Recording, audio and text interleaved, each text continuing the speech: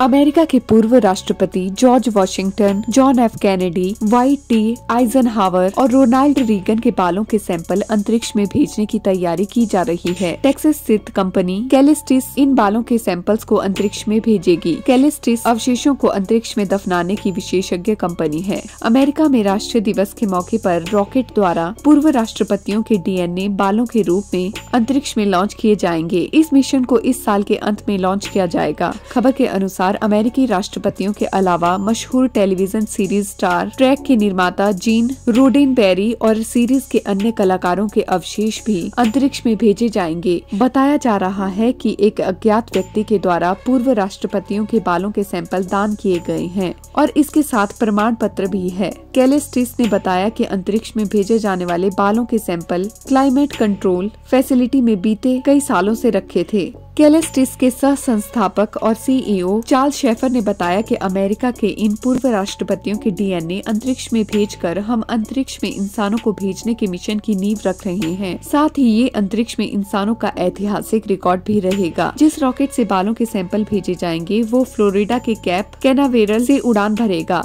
इसके साथ दो सैटेलाइट्स और चंद्रमा के लिए एक निजी लूनर लैंडर भी उड़ान भरेगा।